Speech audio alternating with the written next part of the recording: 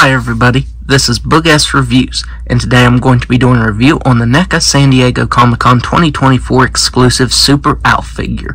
So before we take a look at Alf, let's go ahead and take a look at all of the numerous accessories that he comes with. So first up, he comes with a set of fisted hands. Up next, he comes with an alternate right thumbs up hand. Up next, he comes with a set of these open relaxed hands. I'm using them for a flying pose. Up next, he comes with a set of pointing hands. Up next, he includes an alternate right accessory holding hand and his selfie stick. And the selfie stick looks very nice. It has a phone on top right here. It almost looks like an iPhone. It actually hinges up and down. And if you look, there's actually an image of Alf. Let's try and get that to focus in there. There's actually an image of Alf with his finger up like this.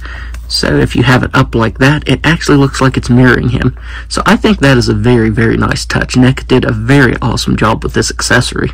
Up next, you get this Alf poster, and this is what the box art looks like. Up next, you get a poster tube, and this actually opens up, and you can put the poster down in it. Just so I don't bend it, I am going to do that. There you can see the poster down in there, and that was a lot trickier to get in there than I thought it would be. I probably should have just left it flat, but at least now it'll be protected and it won't get ripped or anything being down in here. And finally you get a sticker sheet to put some stickers on the poster tube. And you get some really cool ones right here, like Melmac is for lovers, free cat food. This almost looks like the Deadpool logo. The 80s did it better. I just love all of these. I don't know which ones I'm going to put on this, or if I'll even put any of these on here, but I think it's really cool that you can customize it the way you want with these. So now let's go ahead and take a look at the head sculpt. So taking a look at this head sculpt, this is the exact same head sculpt that's been used for every Alf figure so far, but it still looks very, very nice. All the washes and the textures on his skin look really good. That variation in paint in his hair looks very nice. The very, very glossy black used for his eyes looks very good. As I said, this is just a reuse, but all of the head sculpts that NECA has done for Alf so far have been very awesome. Uh, the body is the exact same till you get down here. Uh, as on the previous Alf figures. You do get this real fabric outfit, and I love the way this looks. It's a very stretchy material, but in some places you actually get some tears.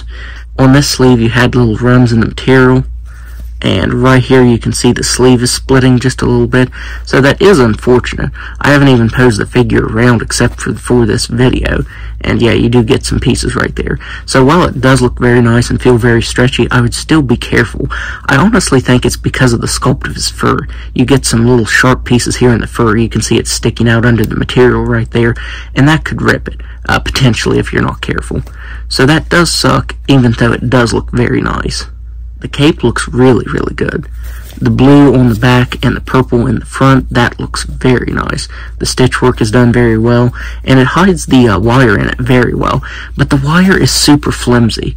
You can't even bend it. If I try to get it bent up like this, then it just falls right back down. It only has a slight bend to it.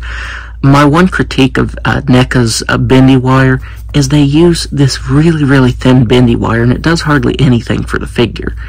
And I really like bendy wire and capes, but you know, when you can't do anything with it, there's no point in having it. I honestly would have preferred it just not have any bendy wire in it at all than bendy wire that doesn't actually hold the shape. I feel like the shorts are done in a better material. They don't feel like they're going to rip. The stitch work on them looks really nice. You get this rope holding the shorts on there, and that looks really good. You do get new lower legs down here because of where they attach to the sneakers right here. So this is new right here. And of course he has the large sneakers and these look very nice. Don't have a lot of sculpt and paint detail to them, but they still look really good regardless. And you actually get the bottoms of the soles sculpted on there. So that is a very nice touch. I honestly didn't think that they'd have any sculpt detail to them, but they do. So now let's go ahead and go over Alf's articulation. So up here in the head, I believe this is on a ball joint, uh, the top of his head right here. It can move up and down, and the jaw moves very slightly, so you can actually get him moving his mouth and stuff, and that looks very awesome. He also has a ball joint down here in the neck. It can move up and down very slightly, and move side to side. He has shoulders that can only move out that far. You are kind of pushing it to the limits if you do that. So I would definitely only move them out that far. He has double jointed elbows that can bend in that far. They do swivel side to side, but with this material, I don't feel like you should be doing that.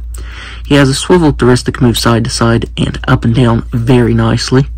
He has a ball jointed diaphragm that can move up and down very slightly and side to side, but it's stretching that material, so I wouldn't stretch that too much.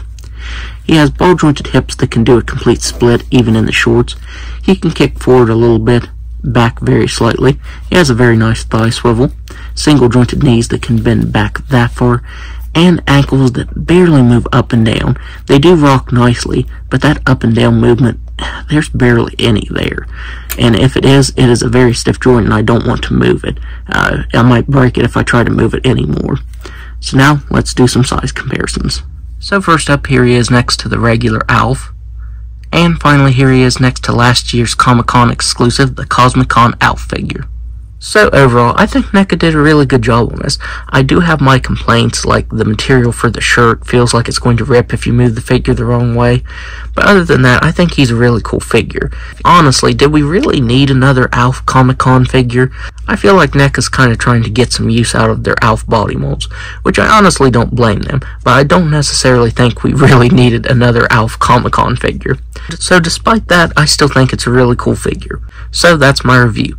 If you like this review, be sure to hit the like button and subscribe to my channel. Thanks for watching.